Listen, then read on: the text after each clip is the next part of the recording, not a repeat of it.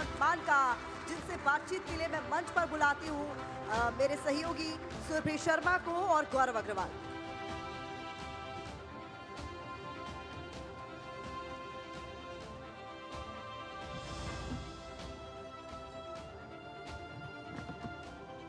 मान साहब स्वागत है। थैंक यू बहुत बहुत शुक्रिया। आप पंजाब से चलकर आ रहे हैं कैसे हैं? क्या है जी। पंजाब से आ रहे हैं क्या फील कर रहे हैं? कैसा पंजाब बिल्कुल ठीक है जी। पंजाब जिस तरह से पंजाब की इमेज है। हंसता, खेलता और पूरे देश का पेट पालता और सरहदों पर रखवाली करता पंजाब।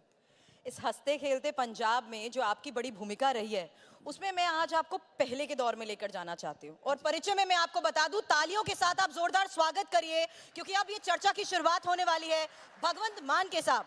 बता दें आपके पंजाब के एक छोटे से शहर के, एक छोटे से स्कूल के, एक बड़े मास्टर जी का बेटा।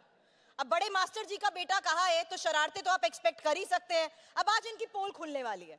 चलिए, अब आप मुझे जल्दी से बता दीजिए। आज आप पंजाब के मुख्यमंत्री हैं, लेकिन मैं मास्टर जी के बेटे से ये सवाल करना चाहती हूँ। सोच के कैसा लगता है? ये सफ़र कैसा देखिए, बड़ा अच्छा सफ़र है। सोचे सोच ना होइए, जो सोचे लख बार। गुरबानी में लिखा है। आदमी सोचता कुछ और है, लेकिन परमात्मा ने वाहिगुरु ने भगवान ने उसके लिए रास्ता कोई और बनाया होता है। तो कई बार आदमी कहता है यार ये तो मैंने सोचा भी नहीं था। बहुत बार ऐसी चीज़ें मिल जाती हैं कि ये तो इतना तो मैंने सोचा भी नहीं था। तो एक छोटे सा गाँव है सतौज संगरूर डिस्ट्रिक्ट में।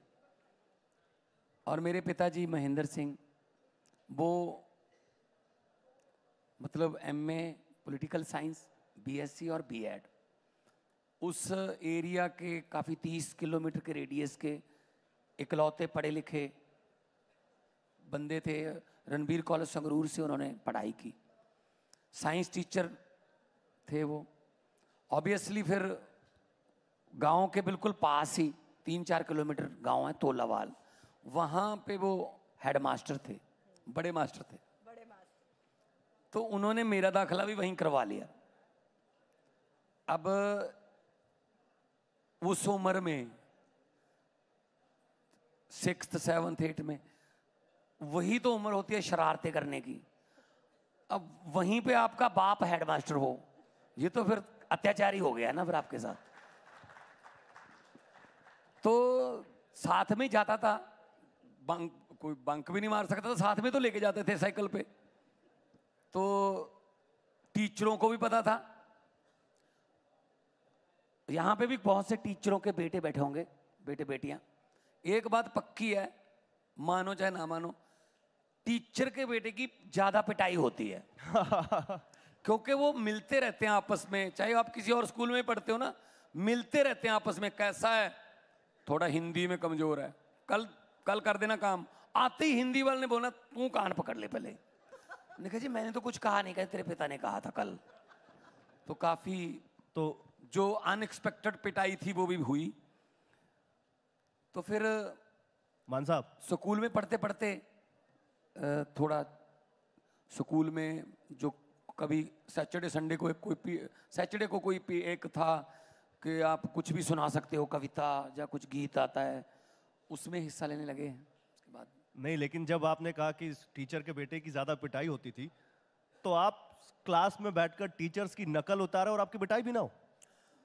नहीं, वो मेरे में, असल में वो कला थी। असल में वो आर्ट थी कि मैं ऑब्ज़र्व करता रहता था चीज़ें कि फलां मास्टर कैसे पढ़ाते हैं, फलां मास्टर का क्या स्टाइल है बोलने का, फलां मास्टर का पिटाई का, हर एक टीचर का पिटाई का स्टाइल भी अलग होता है। एक दो तो ऐसे थे जो यहाँ पे ऐसे, एक लकड़ी का डंडा यहाँ पे ऐसे करके, पता नहीं क्या क्या स्टाइल उनके होते हैं ना। तो एक यहाँ, एक एक एक यहाँ पे ना ऐसे ऐसे पिंच करते थे यहाँ पर। पता नहीं अपना अपना स्टाइल है पता नहीं कहाँ से सीखते हैं या क्या ट्रेनिंग होती है उनकी मुझे समझ नहीं आया। तो हर एक का पिटाई का स्टेप भी तो मैं वो करता रहता था। तो छोटा स्कूल था मिडिल स्कूल था बच्चों को पता चल जाता बच्चों से टीचर को पता चल जाता था। तो फिर पिटाई को मैंने अपनी किस्मत में ये मान ही लिया कि भाई टीचर के बेटे यहाँ पे होते होगी। नहीं तो यूनिक पिटाई के तरीके जो आप बता रहे हैं आपकी कोई फेवरेट हो चुकी थी कि हाँ पता है अब इसकी तो आदत ही हो गई है? नहीं नहीं क्योंकि मैं पढ़ाई में होशियार था इसीलिए वो मेरी शरारतें दब जाती थी। एक मिनट एक मिनट। फ़र्स्ट तो आता है चलो फ़र्स्ट तो आता है सेकंड आता है। आप कह रहे हैं पढ़ाई में आप होशियार थे तो फिर आप ये क्यों कहते थे कि मैथ्स के गणित के फॉर्मूले क्यों पढ़ने हैं? इससे क्या मिल जाएगा? गणित का फॉर्मूला क्यों पढ़ना है? मैंने पढ़े हुए हैं ना वो। मैं ये कहता हूँ मैं ये कहता हूँ आप सभी लोग अभी टीवी नाइन का मंच है बड़ा मंच है। लाखों लोग देख रहे होंगे।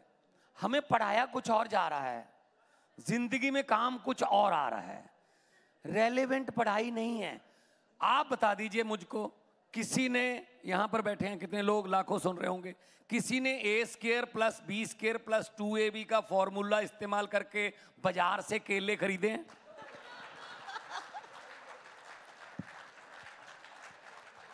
क्यों पढ़ा रहे हैं हमें? टेन थीटा कॉस थीटा ज़िंदगी में काम आया। लेकिन सबसे ज़्यादा नींद हराम इसी ने की टेन थीटा कॉस थीटा भाई तो जिसको साइंटिस्ट बनना है, उसको पढ़ाओ। साइंटिस्ट जिसको बनना है, उसको पढ़ाओ टेन थीटा कॉस थीटा जो जिसका मन कहीं और जा रहा है आप उसको लेके आ रहे हो एमबीडी गाइड की तरफ़। नहीं नहीं ये पढ़ रट्टे लगा। एक पोस्ट एक जगह पे ना पोस्टमैन की पोस्टें निकली। मतलब डाकिए रखने थे। जी जी। डाकिए की पोस्टें निकली। एक बंदे का सारा क्वालिफिकेशन वगैरह सब क्लियर था। कहते, जी बाकी क्लियर है, एक इंटरव्यू करनी है। कहते हाँ जी। कहते, पहला सवाल इंटरव्यू करने के लिए। कहते, चाँद और धरती की कितनी दूरी है? वो कहता, जी, अगर इस रूट पे चिट्ठियाँ बांटनी है तो मेरी तरफ़ से जवाब है मतलब यार, आपने डाकिया रखना है। उससे उससे ये पूछ लो कि भाई साहब, नोएडा वाला जो पुल है, उससे जो इधर अपना धौला कुआँ कितनी दूर है? धौला कुआँ से आजादपुर वाली मंडी कितनी दूर है? जहाँ चिट्ठियाँ बांटनी है। अब चाँद की दूरी पूछ रहे हैं उससे। क्या लेना देना इससे? तो हमारा ना तो थोड़ा ना साहब आज एक राज खोल दीजिए फिर। नहीं नहीं इसका ना रेलेवेंट होना चाहिए। हाँ। पढ़ाई ऐसी होनी चाहिए जो तो काम तो आए ना। मतलब हमें क्या पढ़ा रहे हैं? पंजाबी का हमारा एक हाउस टेस्ट हुआ मैडम ने। सातवीं क्लास में पढ़ता था मैं। अच्छा। मैडम ने कहा जी चलो फ़ीस माफ़ी की अर्जी लिखो। Application for full fee concession Punjabi में लिखना।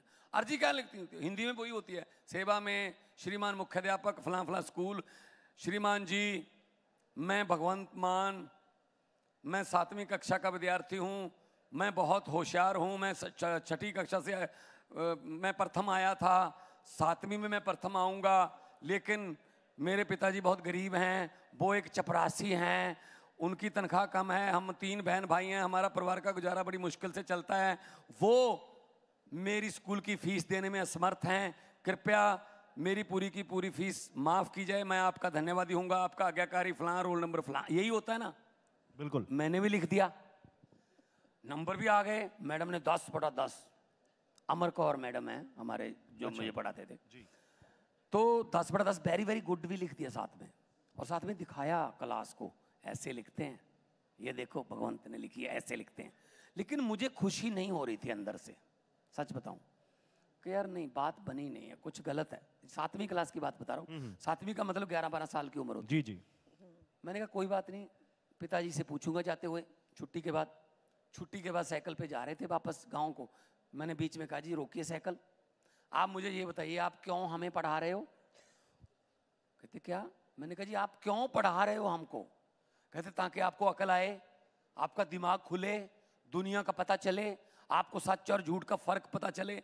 मैंने कहा, अगर मैं ये कहूँ कि आप हमें झूठ पढ़ा रहे हो और झूठ के नंबर भी दे रहे हो, कहते, क्या क्या हो, क्या मतलब? मैंने वो बस्ते से निकाल के एप्लीकेशन दिखा दी। उन्होंने पढ़ी, कहते, बहुत अच्छी है।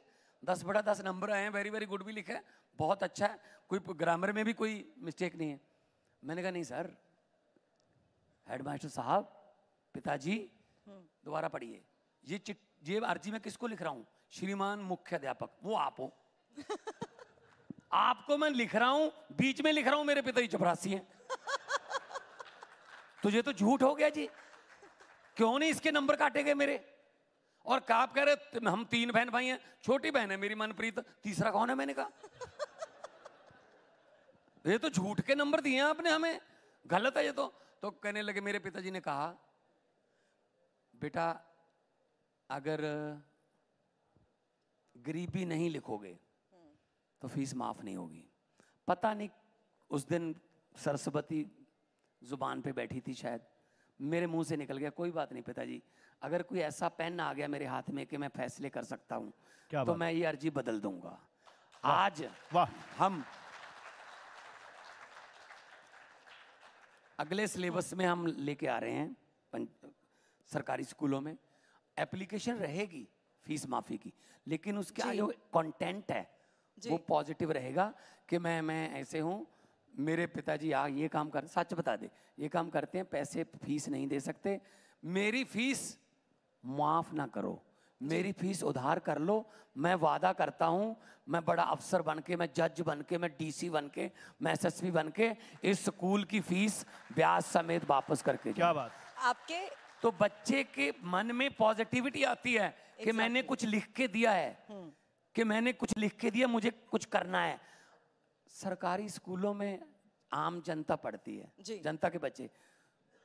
पांचवी छठी क्लास जब कोरे कागज़ जैसा मन होता है ना सिलेबस में से माफिया मांगनी सिखा देते हैं। फ़ीस माफ़ कर दो जी। जुर्माना माफ़ कर दो जी। बड़े होके कहते हैं बिजली के बिल माफ़ कर दो जी कर्जा माफ़ कर दो जी। क्योंकि माफ़ी की अर्जी तो लिखनी सीख ही जाते हैं जी। वो तो सिखाई जाती है। प्राइवेट स्कूल में माफ़ी की अर्जी क्यों नहीं है जी? प्राइवेट स्कूल के किसी भी अब बड़े बड़े स्कूल हैं। जी। किसी प्राइवेट स्कूल में फ़ीस माफ़ी की अर्जी है सिलेबस में वो तो दो लाख पहले ले लेते हैं। वहाँ माफ़ी का क्या चांस है जी? तो इसीलिए मैं कह रहा हूँ कि pause education should be one. One nation one education का नारा भी होना चाहिए। एक जैसी पढ़ाई होनी चाहिए। मान साहब अब ये नंबर कम ज़्यादा आ जाए कोई बात। कोई कोई ज़्यादा पढ़ लेगा तो नंबर आ जाए। लेकिन पढ़ाई और है उधर पढ़ाई और है वो टीचर और है हमारे टीचर और है उधर सिलेबस और है इधर सिलेबस और तो हम ये करने वाले पंजाब में स्कूल ऑफ़ एमिनेंस खोले। हैं स्कूल ऑफ़ एमिनेंस का मतलब है आठवीं तक बच्चे का पता चल जाता है ये क्या करने वाला है। तो नौ दस ग्यारह बारह ये क्लास है। जो बच्चा साइंस में जाना चाहता है उसको नाइन्थ में साइंस से शुरू किया जाएगा। जो स्पोर्ट्स में जाना चाहता है उसको स्पोर्ट्स से शुरू किया जाएगा। जो आर्टिस्ट बनना चाहता है उसको संगीत के लिए लेके जाएँगे। जो इंजीनियरिंग में जाना चाहता है जब तक वो बारह पास करके यूनिवर्सिटी के लिए निकलेगा तब तक उसका विजन क्लियर होगा कि मैंने क्या बनना है। मान साहब लेकिन आपके जो दस बटा दस आए थे ना शायद इसीलिए आपके पिताजी को ये लगा था कि मेरा बच्चा इंजीनियर बने डॉक्टर बने। लेकिन आप तो ऐसे थे कि आप थिएटर स्टेज पे पहुँच कर परफॉर्म करने लग जाते थे नकल उतारने लग जाते थे। एक ये भी हमारे देश में दिक्कत है कि हमारे जो माता पिता हैं, बड़े सत्कारित हैं, हमारे जो पेरेंट्स हैं, जो खुद नहीं बन पाते ना, वो बच्चों से बनना, बनवाना चाहते हैं बस। डॉक्टर बापू नहीं बन सका तो कहता बेटा डॉक्टर बनेगा अब। क्या पता यार थोड़ा सा तो बच्चों की तो पूछ लो कि वो क्या करना चाहता है। नहीं, डॉक्टर बनना, इंजीनियर बनना, पायलट बनना। अगर सभी डॉक्टर बन के मरीज़ कौन बनेगा फिर? अगर सभी पायलट बन गए पैसेंजर कौन बनेगा फिर? बच्चे से भी तो पूछ लो ना कि क्या करना है। नहीं पूछते। मेरा मन था आर्टिस्ट लेवल पे स्टेज पे जाके कुछ परफॉर्म करना है। जब पिताजी को पता चला उन्होंने पाबंदी लगा दी। कि नहीं जाना पहले पढ़ाई करनी है फिर बाद में करना है। ये काम नहीं करने स्टेज पे जाने वाले। अब मेरे मन में कीड़ा था अंदर कि यार कुछ करना है मैं तो जाऊँगा। मैं चोरी हो जाने लगा चोरी छिपे जाने लगा कि पिताजी को पता ही ना चले। अब मैं किसी कॉलेज में चला गया मलेरकोटला कॉलेज है गवर्नमेंट कॉलेज मलेरकोटला। वहाँ मैं फ़र्स्ट आ गया बहुत सुंदर ट्रॉफी मिल गई मुझे। सोलह साल की उम्र ग्यारह प्लस वन की बात कर रहा हूँ मैं। ट्रॉफी बहुत खूबसूरत मिल गई बड़ा बहुत ही मन को इतना लगा कि मैंने ट्रॉफी जीत ली है। और मेरा नाम बोला गया कि नम, पहले नंबर पर ये तो बस में वापस आना था। अब एक तरफ़ तो ट्रॉफी जीतने की खुशी है, दूसरी तरफ़ एक मन में स्ट्रगल ये चल रही है, ट्रॉफी घर पे ले गया तो पिताजी को पता चल जाएगा ये फिर स्टेजों पर जाने लगा फिर पिटाई होगी। तो मैं बस में खड़ा था, बड़ी इमोशनल बात है। सीट वीट कौन सीट वीट नहीं देते स्टूडेंट्स को? कहते को फ्री जाना होता ना? तो मैं खड़ा था ट्रॉफी लेके। एक कोई बंदा था, उसने कहा, कहता यार, बहुत खूबसूरत ट्रॉफी है। कहाँ से लेके आए? मैंने कहा मलेरकोटला कॉलेज से जीती है। कहता यार बहुत खूबसूरत है। मैंने कहा चले भाई साहब तुम ले जाओ। ट्रॉफी दे दी। ऐसे मैंने बहुत सी ट्रॉफियाँ दे दी जिनको मैं मिस करता हूँ। और पता नहीं किसके घर की ड्राइंग रूम का श्रृंगार होंगी लेकिन जब मैं प्लस टू में पढ़ रहा था तभी से मेरी कैसेट्स कैसेट्स आती थी। जी जी। टी सीरीज़ वगैरह में। हम्म। कैसेट्स आने लगी तो मैं सुपर हिट हो गया प्लस टू में पढ़ता ही। पंजाब का बेस्ट कॉमेडियन का अवार्ड मिल गया मुझे। मतलब मैं भी मशहूर हो गया तो पिताजी भी फ़ेमस हो गए। तब वही पिताजी जो रोकते थे इंटरव्यू दे रहे थे एक बार किसी अखबार वाले को हाँ मुझे पता था बच्चे में बहुत टैलेंट है। मैंने बहुत इनकरेज किया मैंने कहा झूठ बोल रहे हैं। कोई इनकरेज नहीं किया है हटा मैं तो आप चढ़ते सूरज को सलाम है बस। तो मेरे पिताजी की भी ना जो सरकारी चिट्ठियाँ थी वो भी ऐसे आने लगी थी महेंद्र सिंह फादर ऑफ़ भगवंत मान फलां फलां स्कूल मैंने कहा जी सन ऑफ़ तो सुना है फादर ऑफ़ क्या कब से चलने लगा है? वो कहते हैं मैंने कह रखा है कि तेरे नाम से चिट्ठी आ जाए तेरे नाम से थोड़ा जल्दी आ जाती है। सब जानते हैं। अगर अच्छा भला करियर चल रहा था एक आर्टिस्ट के तौर पर परफॉर्म कर रहे थे और आपकी आप इतने फ़ेमस भी हो चुके थे कटरीना कैफ के साथ फ़िल्में भी कर रहे थे ऐसा क्या सोचा कि कटरीना कैफ को छोड़कर आप केजरीवाल के साथ आ गए?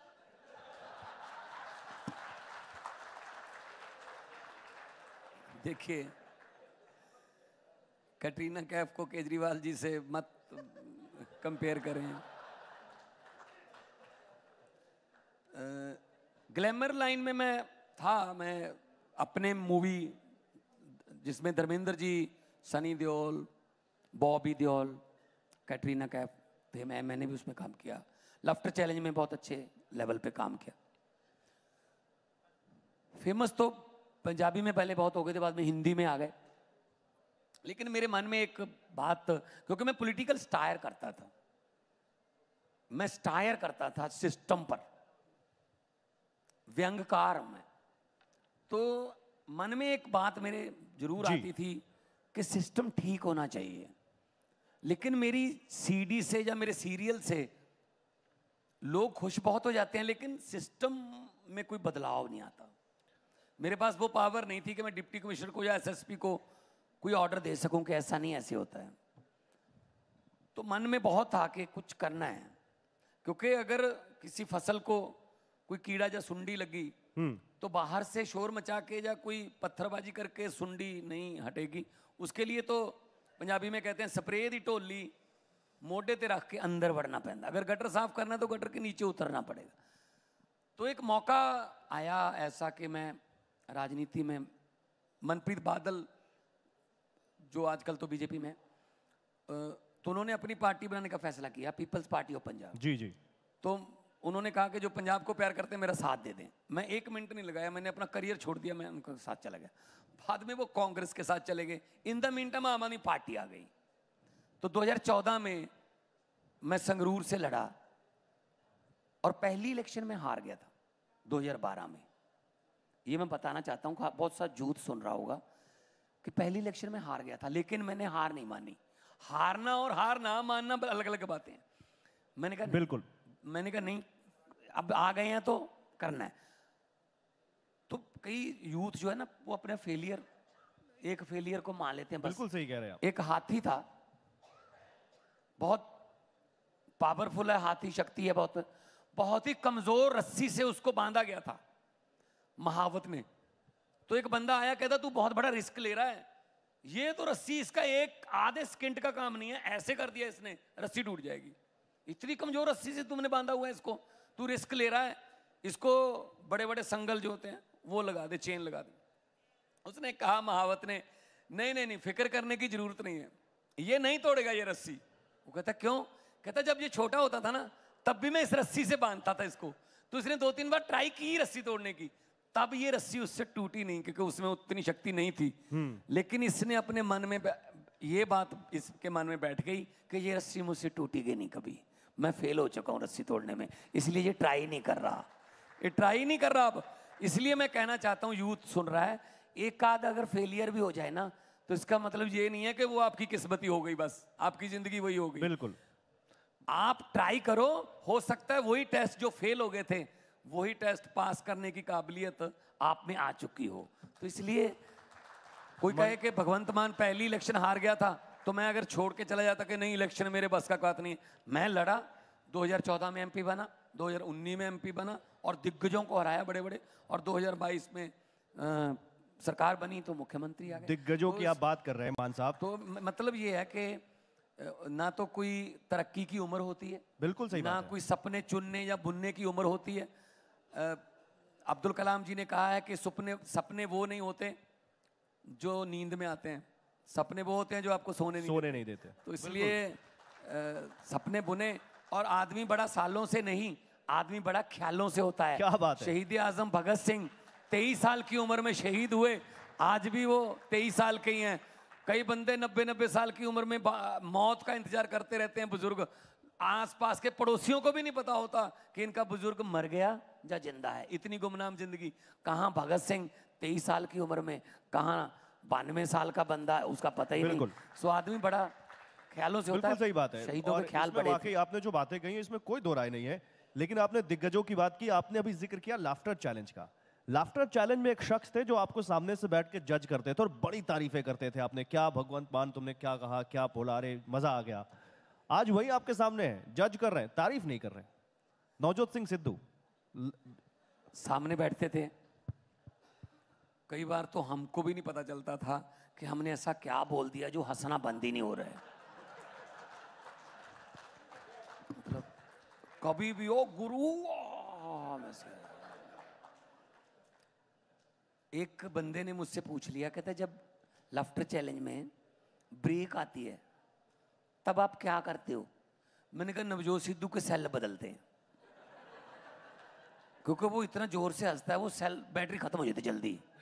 फिर उनके सेल चेंज कर देते हैं हम। तो सिद्धू साहब ने लफ्टर चैलेंज में मेरे जज थे। एज ए क्रिकेटर मैं बहुत रिस्पेक्ट करता, मैं जब से क्रिकेट देखना शुरू किया, लगभग श्रीकांत के साथ ओपनर आते थे। तो मनोज प्रभाकर के साथ ओपनर आते थे, तब अजरुद्दीन कैप्टन थे। मैं बहुत स्पोर्ट्स लवर हूँ, बड़ा रिस्पेक्ट करता हूँ। बाद में राजनीति में आ गए वो, मैं भी राजनीति में आ गया। उनकी अलग पार्टी है। एक नहीं उनकी अलग पार्टियाँ हो गई। तो तमान साहब इतनी क्या नाराज़गी उनकी आपसे हो गई कि वो ये तक कहने लग गए कि पीली पगड़ी पहनने से कोई भगत सिंह नहीं हो जाता? मैंने कब कहा जी पीली पगड़ी पहनने से सिद्धू साहब ने कहा आपके लिए। नहीं ये तो इतनी वो नाराज़गी उनकी मैं कब कहता हूँ कि पीली पगड़ी पहनने से कोई भगत सिंह बन जाता है? सिद्धू भगत सिंह बनना आसान है कोई। भगत सिंह बनना कुछ कोई आप वो वो कहावत है कि लेनन लेनन जैसा जो टोप तो ले आओगे, उसके जैसा नीचे सर सर कहाँ से लाओगे? भगत सिंह बनना आसान है कोई? पगड़ी तो पहन लोगे पीले रंग की, लेकिन भगत सिंह की पगड़ी के नीचे जो सर था, जो दिमाग था, वो कहाँ से लाओगे? हम तो उनके पाँव की धू, धूल के तिनके भी नहीं है उनके। हमने कब कहा कि हम भगत सिंह के? हाँ उनके जैसी सोच तो रख सकते हैं। भगत सिंह ने कहा था, आज़ादी मिलेगी या नहीं मिलेगी इसका मुझे कोई शक नहीं जाती मिलेगी। लेकिन आज़ादी के बाद देश कौन से हाथों में जाएगा इसका मुझे डर है। तो ये ये ये इस, इसको तो फॉलो कर सकते हैं। और जब भी जब मैंने लेकिन ये- लेकिन ये पहली बाजवा आपके स्टेट से मैं- हैं। उन्होंने मैं कहा बात हाँ बताइए बताइए बताइए। मैं कोई पीली पगड़ी पहनने से भगत सिंह का मैं फ़ैन नहीं हुआ। मैं जब बचपन से उनके हमारे इलाके में प्ले होते थे भगत सिंह के वो देखता था किताबें पढ़ता था। जब मैं आर्टिस्ट बना तो जो मैं नई गाड़ी लेता था मैंने चार पाँच गाड़ियाँ बदली एज एन आर्टिस्ट जब होते थे। जब भी मैं गाड़ी लेता था आमतौर पे हम गाड़ी लेते हैं शोरूम से सीधा मंदिर या गुरुद्वारा मिल गया। मैं गाड़ी चाहे चार बजे मिले मुझे चाहे रात के पाँच बजे रात के दस बजे मिले मैं गाड़ी शोरूम से निकालता था सीधा खटखड़ कला भगत सिंह के गाँव में माथा टेकता था। ये किसी को पता नहीं है। और मैं कहता था तुम्हारी वजह से गाड़ियों वाले हो गए, बंगलों वाले हो गए। अगर तुम ना होते हम अगर तुम्हारा, तुम्हारी कुर्बानी ना होती तो गुलाम होते। मैं तो तब से भगत सिंह का फ़ैन हूँ जी। और जब जब हमने ये पगड़ी कहाँ से पहननी शुरू की? चौदह की इलेक्शन में पगड़ी के बिना लड़ा था। दो हज़ार चौदह में। जब मैं जीत गया तो मुझे सर्टिफिकेट मिला एमपी का। आमतौर पे सर्टिफिकेट लेके लोग जो नेता हैं वो अपने प्रधान के पास जाते हैं, जी, आपकी झोली में सीट डाल दी। मैं खटखड़ कला गया। भगत सिंह के गाँव में मैंने उसके पाँव में वो रख दिया, जो सर्टिफिकेट था, और कहा कि ऐसे लाख सर्टिफिकेट पे तू लात नहीं मारता। कुछ नहीं है ये औकात एमपी की। लेकिन मैं वहीं पे जा रहा हूँ, जहाँ तुम एक आवाज़ देने वाला एक बम फेंक कर उनके कान खोलने थे गोर अंग्रेज़ों के। तो मैं आपकी पीले रंग की पगड़ी पहनूँगा, मैं ज़ुबान के बम वहाँ पे चलाऊँगा ताकि जनता के पक्ष में सरकारों के कान खुले रहें। तब से मैंने शुरू की है। और जब मुख्यमंत्री बने, आमतौर पे क्या होता है, मुख्यमंत्री का जो ओथ सेरेमनी होती है, वो या तो राजभवन में होती है, या फिर किसी स्टेडियम में होती है। पहली बार हुआ है कि 2016 16 मार्च 2022 16 मार्च 2022 को मेरी जो ओथ सेरेमनी मुख्यमंत्री की वो भगत सिंह के गाँव में लाखों लोगों के सामने हुई थी। लेकिन मान साहब प्रताप सिंह बाजवा सिद्धू साहब कहते इतने सिद्धू साहब कुछ भी बोलते रहते हैं वो तो खटाक पटाक पता नहीं क्या क्या करते रहते हैं। उनको खुद को नहीं पता चलता कि मैंने क्या बोल दिया है। गुरु। तो मैं क्या करें अब? ओ गुरु याद होगा आपको उनका। तो नवजोत सिद्धू इलेक्शन में खड़े थे ना हाँ। सिद्धू और मजीठिया दोनों एक जगह से खड़े थे। हाँ। और हमारी एक सोशल वर्कर है जीवन जोत कौर। एक ही बटन दबाया लोगों ने दोनों हार गए। दोनों हार गए। नहीं लेकिन प्रताप सिंह इसमें मेरा क्या कसूर है जी? इसमें मेरा क्या कसूर है कि मेरे जज थे हार गए? नहीं प्रताप सिंह बाजवा ने एक बयान दिया और आपने उस पर भी सिद्धू जी का मज़ाक उड़ा लिया। किसका? क्या क्या उन्होंने कहा कि उंगली में अगर गैंग्रीन हो तो उंगली काट देनी चाहिए। देखिए पता क्या है? जो मेरे ये सारे ना कॉन्वेंटेरियन है। ये पंजाबी इन्होंने कभी पढ़ी नहीं है। अब वैसे तो तैतीस परसेंट होता है ना कम से कम नंबर। मैं पच्चीस परसेंट भी पास करने को तैयार हूँ ये चारों पंजाबी का टेस्ट पास करके दिखा दे मुझे। ये बोलते हैं सिद्धू है ये कौन ये वाईपीएस है? नहीं, लेकिन सुनो, आपने मज़ाक क्या उड़ाया, वो सुनो तो बता दीजिए लोगों को। सुनो तो सही सिद्धू वाईपीएस है बाजवा पीपीएस नाबा है सुखबीर बादल सनावर है मनप्रीत बाल दून है। यहाँ पंजाबी है ही नहीं पंजाबी सब्जेक्ट ही नहीं है। इनको मैं सवाल भी पहले बता दूँगा, जो इन्होंने देने हैं, कि पंजाब की राजधानी कौन सी है? इनको भी पता चंडीगढ़ है, लेकिन लिखना नहीं आता ना चंडीगढ़। आ जाओ। और पंजाब का आप कह रहे हो कि हम पंजाब को संभालेंगे, हम पंजाब के किंग हैं। असल में क्या है, इन सबको दिक्कत ये नहीं है कि आम आदमी पार्टी की सरकार बन गई। इनको दिक्कत ये है कि आम घरों के बेटे बेटियाँ ये कुर्सियाँ पर, कुर्सियों पर क्यों बैठ गए जहाँ हमारे बेटे बेटियाँ बैठते थे? ये पंगा है। और वो कह रहा है, प्रताप बाजवा ने कहा, ये कैसा मटेरियल हमारे सामने आ गया? मटेरियल बोल रहे हैं हमें वो। कहते, एक मोबाइल ठीक करने वाला एमएलए बन के आ गया। मैंने कहा मोबाइल ठीक करने वाला नहीं, दिमाग ठीक करने वाले भी कई आए हैं आपके। हमारे उस जो मोबाइल ठीक करने वाला ना, जिसका नाम लिया, उसने सिटिंग सीएम चन्नी को हराया अट्ठाईस साल, उनतीस साल का नौजवान लड़का है। हमारी एवरेज एज थर्टी नाइन है पंजाब में। बानवे में से अस्सी फ़र्स्ट टाइमर हैं। हमने हराए हैं जी, लोगों ने हराए हैं। आपके कह रहे, भगवंत मान को तजर्बा नहीं। मैंने कहा, लोग दुखी तजर्बेकारों से हैं।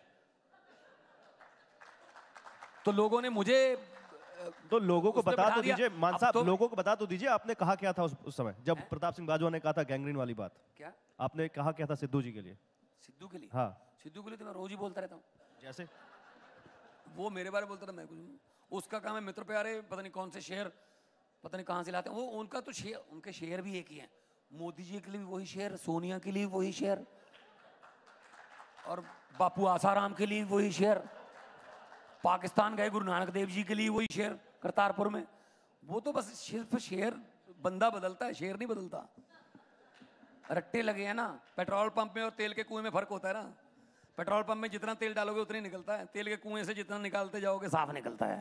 नहीं नहीं मैं बता देता हूँ। जब उन्होंने कहा। कि जिस उंगली में गैंग्रीन हो उस उंगली को काट देना चाहिए तो आपने कहा आपने कहा कि उंगली कट जाएगी तो पंजा रहेगा कैसे? मैं मैं बता नवजोत सिंह सिद्धू जो है ना वो शादी में वो लेने देने वाले सूट नहीं होते।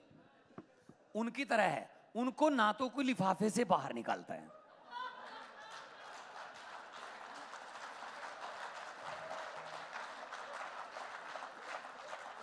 और ना ही उनको कोई सिलवाता है।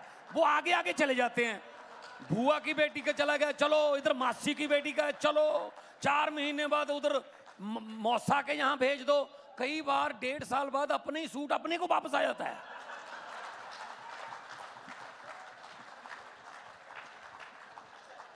और फिर भी कहते हैं, अभी निकालना नहीं, तीन महीने बाद बुआ के बड़े बेटे की शादी वहाँ निकाल देंगे। अब कांग्रेस की किस्मत देखो, उन्होंने उन्होंने सूट को लिफाफे से निकाल लिया। अब ना तो वो किसी से सिलता है, ना लिफाफे में वापस जा रहा है। भरे पड़े हैं यार, क्या करें इसका? तब भी 12-13 साल में जिस तरीके की ये सच है कि 12-13 साल में जो पॉपुलैरिटी हासिल की है आज जब काम की बात आती है तो आपका घेराव ज़रूर होता है। और जब यूथ का आपने यहाँ पर सवाल किया तो मैं ये बता दूँ कि यूथ की अगर हम बात कर रहे हैं तो एक फैक्ट ये भी है कि उन्नीस सौ इक्यावन के बाद एशियन गेम्स में ये रिकॉर्ड बना है जब आठ गोल्ड छह सिल्वर और छह ब्रॉन्ज भी उसी यूथ ने पंजाब में हासिल किया बत्तीस में से बीस मेडल पंजाबियों ने जीते हैं इस बार। क्योंकि हमने स्पोर्ट्स पॉलिसी ऐसी कर दी कि हमने पहले पैसे देने शुरू किए। कि एशियन में जाना है नेशनल में जाना है कॉमनवेल्थ में जाना है ओलंपिक में जाना है। बाद में, देखो मेडल जीतने के बाद तो कोई भी सम्मानित कर देता है। लेकिन उनको मेडल जीतने लायक तो बनाइए। हम पंद्रह लाख रुपए पहले देते हैं कि कम से कम वो शू तो खरीद लो, जिन शू को पहन के भागा जाता है। कम से कम वो गद्दा तो मिल जाए जिसपे ओलंपिक में कुश्ती होती है। हम प्रैक्टिस करते हैं मिट्टी पर। वहाँ जाके मिलता है गद्दा। तो हमारी ग्रिप ही नहीं बनती। तो हमने एक एक करोड़ रुपया एक करोड़ हमारा गोल्ड का है। सेवेंटी फाइव लाख है हमारा सिल्वर का। पचास लाख है हमारा ब्रॉन्ज का। अभी पैसे दिए हमने प्लेयरों को जिसमें जिन्होंने जीते हैं। हॉकी में इस वक्त दस प्लेयर जो है ना ग्यारह में से दस प्लेयर पंजाबी हैं। हॉकी टीम जो भारत की है। दस पंजाबी हैं। हमने एक करोड़ रुपया एक गोल्ड मेडल को देने का फैसला किया। तो आया कि दस प्लेयर पंजाबी हैं हरमनप्रीत कैप्टन है गुरजंट है शमशेर है मेरे वरुण है सारे। तो हमने ये फैसला किया कि टीम को एक करोड़ नहीं देना। दस के दस पंजाब के जो हैं हर एक अकेले अकेले को एक एक करोड़ रुपया देना है। जी वो अब दिया है। एक और तो बात मैं इसीलिए फिर वापस बच्चों में आ रहा है कि बिल्कुल लेकिन जहाँ सिद्धू जी का सवाल कर रही थी उन्होंने तो ये भी कह दिया आप ही के फैसले पर सवाल उठाते हुए कि भगवंत मान ने मुफ़्त की रेवड़ी के चक्कर में पंजाब को कर्ज में डाल दिया है। और पंजाब में कर्ज की बात का इस तौर पर ज़िक्र कर रहे हैं कि पंजाब सबसे बड़े कर्ज में है। यहाँ तक कि राज्यपाल की भी यही राय है। यूपी के बारे में राज्यपाल की ये राय क्यों नहीं है? गुजरात के बारे में राज्यपाल की ये राय क्यों नहीं है? ये राय सिर्फ़ बंगाल केरला तमिलनाडु पंजाब और दिल्ली के राज्यपालों की क्यों है? पता है ना? आपको पता है फिर ही हंस रही हैं आप। नहीं कुछ तो बात होगी ना।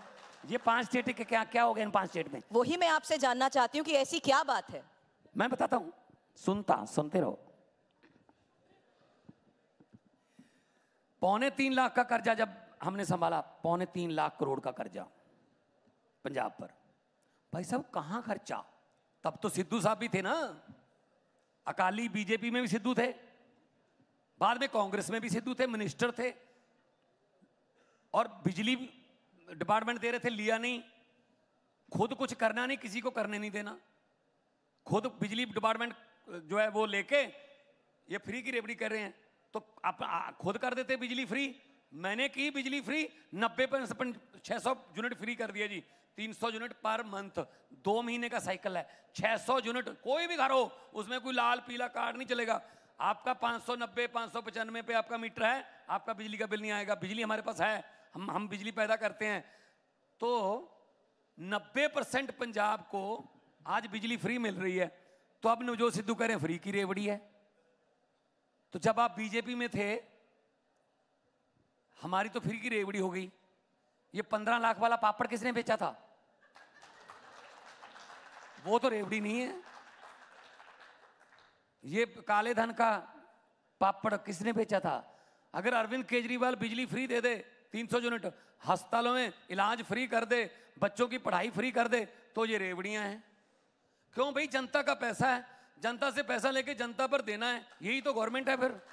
नहीं लेकिन नहीं उस पैसे को संभालिए ना उस पैसे को संभाल के हमने लीकेज बंद कर दी खजाने में पैसे आ गए हम दे रहे हैं हम स्कूल ऑफ़ एमिनेंस खोल रहे हैं 800 मोहल्ला क्लिनिक हो गए हमारे एक करोड़ से ज़्यादा फुटफॉल होगी वहाँ पर और एक रुपया नहीं लगता किसी का। और मैं, मैं कर मैं कर मान साहब। हमने एक मिनट हमने आमतौर पे क्या होता है सरकार आती है अपने सरकारी जो संस्थाएँ होती हैं उनको घाटे में दिखाकर अपने दोस्तों मित्रों को बेच देते हैं। होता ना? पंजाब ने उल्टी गंगा बहाई है। एक फरवरी को हमने उल्टी गंगा बहाई है पंजाब में। एक प्राइवेट जीवी के जीवी के कंपनी का थर्मल प्लांट था 540 मेगावाट का। प्राइवेट थर्मल प्लांट सरकार ने खरीदा है कि हमें दे दो हम चला के दिखाएँगे। तो ये मान साहब लेकिन लेकिन अभी आप हमसे पूछ रहे थे कि क्या राय है यूपी के राज्यपाल की राय ऐसे क्यों नहीं होती? किसान आंदोलन के बारे में आपकी क्या राय है? और पंजाब का किसान दिल्ली क्यों आता है बार बार? पंजाब का ही किसान बार बार किसान आंदोलन करने क्यों आता है दिल्ली? नहीं क्या पंजाब के किसान के लिए दिल्ली पाबंदी है? राजधानी नहीं है हमारी। ना कोई पाबंदी है दिल्ली क्यों आता है? जब सरकार दिल्ली से चलती हो कहाँ जाए फिर वो? पंजाब का किसान लाहौर जाए। जब आप जब आप जब आप विपक्ष में एक मिनट बात सुनिए। वैसे लाहौर शायद जल्दी जा सकता था, क्योंकि जितनी बड़ी तारें इधर लगाई थी, लाहौर वाली कम है।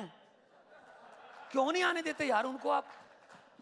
भाई, आप आने क्यों नहीं दे रहे? हरियाणा के बॉर्डर पे क्यों रोक ली? हरियाणा के साथ तो कोई दुश्मनी नहीं उनकी। वो अमृतसर से तरन तारण से दो दो सौ किलोमीटर आ गए उन्होंने एक चींटी नहीं मारी। कोई पंजाब के साथ दुश्मनी, ऐसे हरियाणा को, वो तो यहाँ रामलीला ग्राउंड में बिठा देते। यहाँ उनके साथ बात कर लेते, नहीं जी, आने नहीं देना दिल्ली। आप भी कह रहे हो दिल्ली क्यों आ रहे हैं? दिल्ली क्यों? दिल्ली क्यों नहीं आएँगे? तो मोदी जी दिल्ली क्यों आए? वो एक मिनट मोदी जी अहमदाबाद छोड़ के दिल्ली क्यों आए? बताइए। मोदी जी ट्रैक्टर लेकर नहीं आए ट्रॉलियाँ नहीं, लेकर नहीं मोदी आए। जी दिल्ली आएँगे मोदी जी देश के राजे हैं। तो मोदी जी के पास ही आएँगे कहाँ जाएँगे? ये तीन कानून किसने कहा था? कब कब आंदोलन हुआ था ये कि किसान तीन कानून मांग रहे हैं? किससे पूछा ये आपने? स्टेक होल्डर से बात की? नहीं की। तीन कानून ला दिए। आंदोलन हो गया। सवा साल बाद एक दिन मोदी जी आते हैं टीवी पर। मेरी तपस्या में कमी रह गई है। मैं ये कानून वापस लेता हूँ। दस सेकंड। और आप लोग भी लग गए, बहुत बड़ी बात कर दी है, क्या बात। भाई, तपस्या में कमी रह गई है, कोई कमज़ोरी है इसका मतलब? जनता को समझने में कमज़ोरी है। अब तीन साल में तो तपस्या पूरी हो गई हुई। अब तो पूरे कर दो मान साहब हमने एक चीज़ और दिखाई थी। अगर आपको याद हो हमने एक चीज़ और दिखाई थी। जब आप विपक्ष में थे तब आपने कहा था कि पंजाब की सरकार किसानों को एमएसपी की की गारंटी का कानून लाकर उनको वहीं पर क्यों नहीं दे देती एमएसपी की गारंटी? तब आपने विपक्ष में कहा था। हमने ये भी दिखाया बिल्कुल बिल्कुल। आज आप सत्ता में मैं गारंटी देखो एमएसपी मैं नहीं दे सकता ये सेंटर दे सकता है ये फेडरल गवर्नमेंट कर सकती है। मैं क्या कर सकता हूँ? मैं उनको सब्सिडी दे सकता हूँ। बोलूँगा। मैं मैं बता रहा हूँ। प्लीज़ प्लीज़ उनको बोलने दीजिए। नहीं प्लीज़ बोलने दीजिए बोलने दीजिए बोलने दीजिए। शायद इनके इनके खाते में पंद्रह नहीं नहीं प्लीज़ व्यवधान मत करिए कुछ। कुछ व्यवधान मत करिए। नहीं चुप रहिए। नहीं कोई भी ऐसे व्यवधान नहीं करे। बोलूँगा नहीं ना बोलने कोई भी वो हमारे मेहमान हैं। आपके खाते वो में हमारे मेहमान होगा। उनके बारे में कोई ऐसा नहीं बोलेगा। खान साहब ये ये हालत मान साहब आप अपनी बात रखें अब ये हालत है। ये पेशेंस है। अब मैं, मुझे बताइए, ये पेशेंस है। एक मिनट, कोई बात सुनिए। एक मिनट एक मिनट एक मिनट एक मिनट एक मिनट। मैं बताता हूँ, मैं बताता हूँ, मैं बताता हूँ। जो राज्य सरकार है ना, वो एमएसपी नहीं बना सकती, लेकिन राज्य सरकार एक काम कर सकती है। जिस रेट पे वो फ़सल बिकती है, और स्वामीनाथन के C two plus fifty percent के फार्मूले से जितना उसका बनता है उसका गैप दे सकती है। गवर्नमेंट स्टेट की गवर्नमेंट सब्सिडी दे सकती है। और हमने दी है मूँगी मूँगी की दाल पर। हमने दी है हमने बीजों पर सब्सिडी दी है। हमने हमने बिजली पर सब्सिडी हमारी बिजली अठारह हज़ार करोड़ की फ्री दे रहे हैं हम।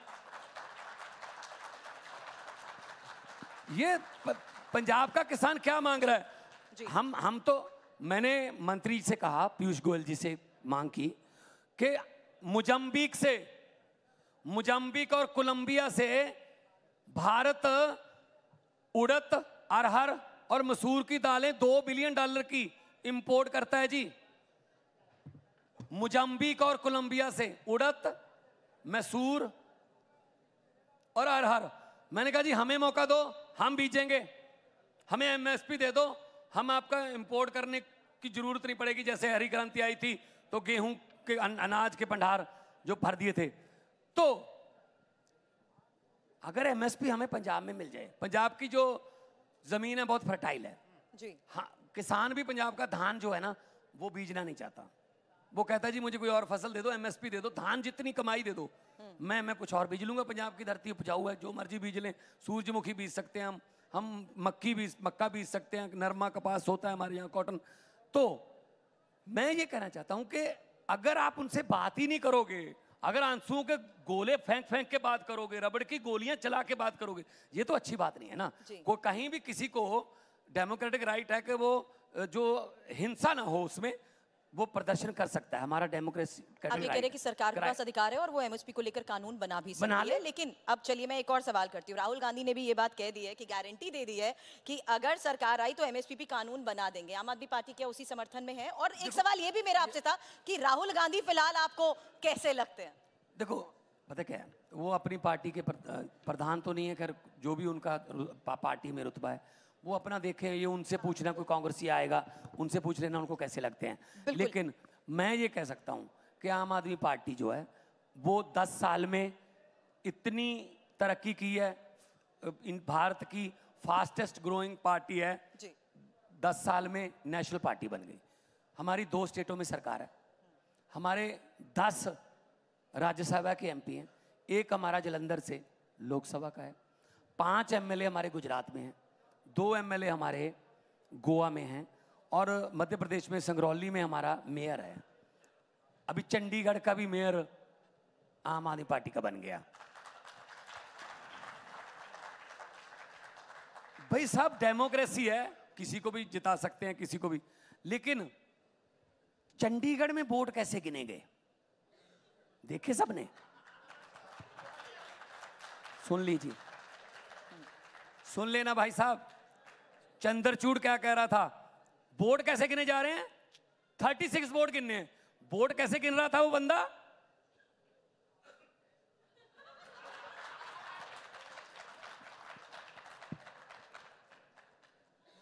तो फिर वो वोट गलत निकले ना तो फिर सुप्रीम कोर्ट ने क्या कहा कि मेयर आम आदमी पार्टी का बनेगा। कहाँ गई डेमोक्रेसी फिर या? आप 36 वोट गिन नहीं पा रहे। 36 वोट में से आठ हमारे वैलिड वोट जो हैं आपने कैंसिल कर दिए। It mean 25 percent. छत्तीस वोट में से 25 परसेंट आपने कैंसिल कर दिए और खुद जीत गए। भाई साहब मई के एंड में बानवे करोड़ वोट गिनने हैं। तब क्या होगा? नहीं नहीं बिल्कुल। और मैं उसी सवाल मैं उसी सवाल पे आ रहा था। क्या होगा तब? चंडीगढ़ का आपने उदाहरण दिया और बड़ा शानदार इलेक्शन आपने और कांग्रेस पार्टी ने इंडिया गठबंधन के तहत मिलकर लड़ा। इसमें कोई दो राय नहीं। पाँच राज्यों में आपने गठबंधन कर लिया आम आदमी पार्टी और कांग्रेस का। एक मिनट मेरा सवाल सुन लीजिए। पंजाब में आपने गठबंधन क्यों नहीं किया कांग्रेस पार्टी से? पहली बात तो ये है चंडीगढ़ का हमने शानदार इलेक्शन लड़ा लेकिन मेयर सुप्रीम कोर्ट से लेके आना पड़ा। दिल्ली का एमसीडी का शानदार इलेक्शन लड़ा मेयर सुप्रीम कोर्ट से लेके आना पड़ा। बजट सेशन बुला रहा था पिछली बार हमारे गवर्नर साहब कहते मैं बजट सेशन की इजाज़त नहीं दूँगा।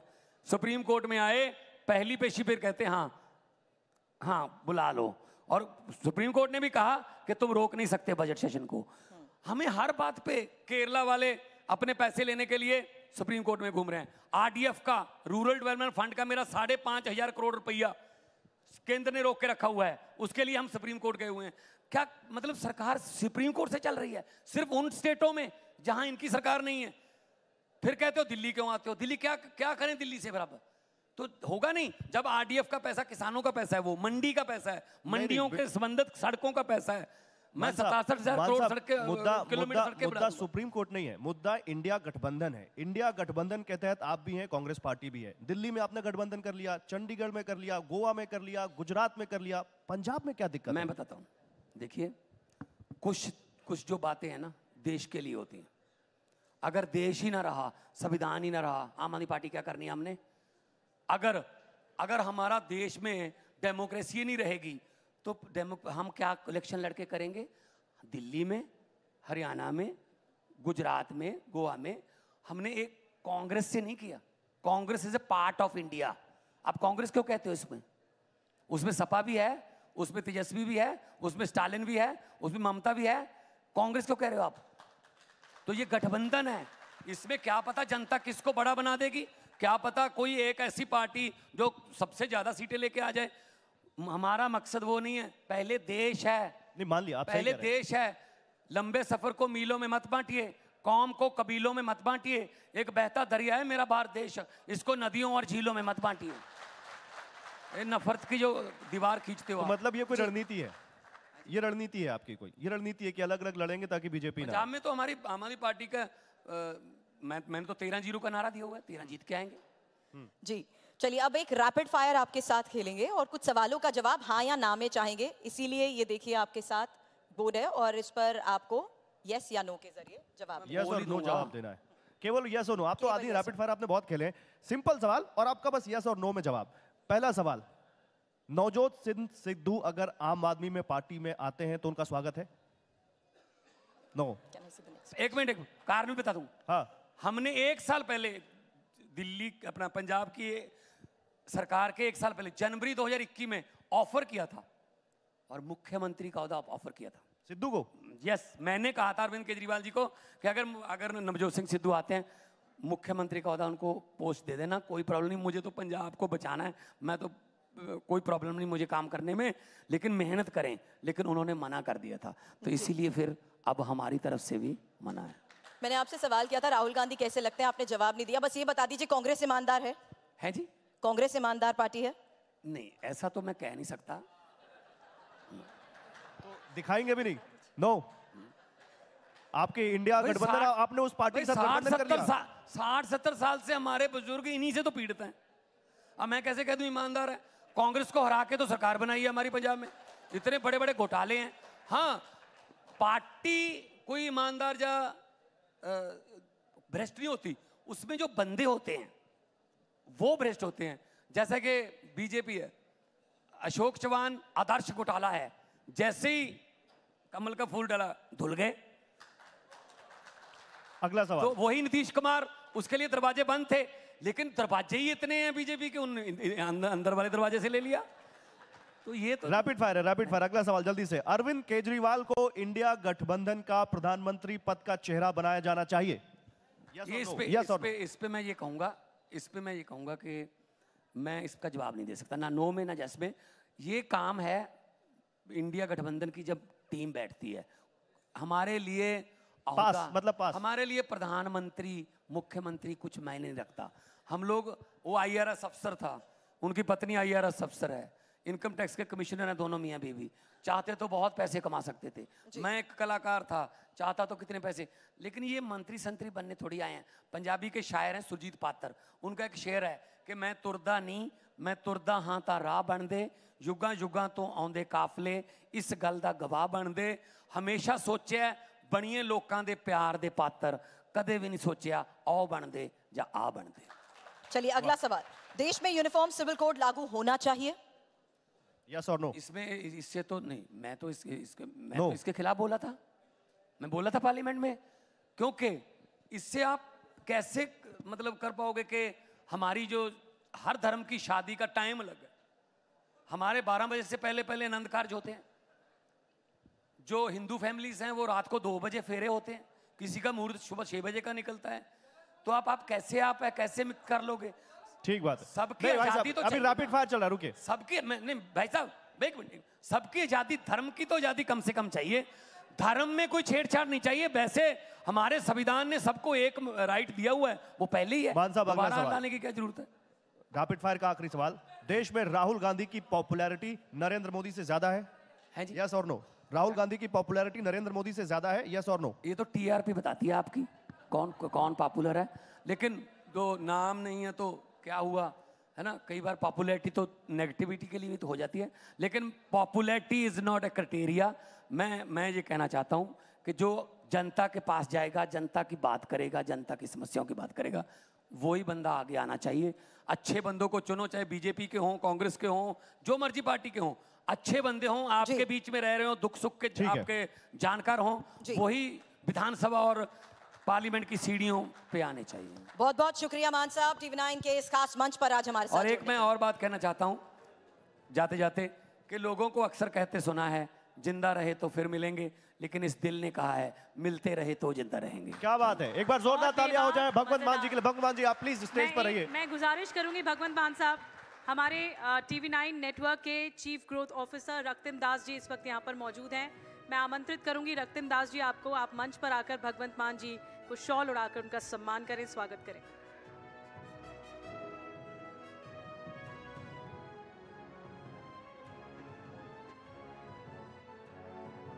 जोरदार तालियाँ एक जानदार सेशन और जोरदार तालियाँ ऐसे में बनती हैं। बहुत बहुत धन्यवाद। बहुत ही तो भगवान मज़ेदार। मान ने निधि बहुत तमाम मुद्दों पर अपनी बात बेबाकी से रखी है खासतौर पर बहुत महत्वपूर्ण हो जाता है उनकी तरफ़ से ये कहना कि विपक्ष लगातार टारगेट आम आदमी पार्टी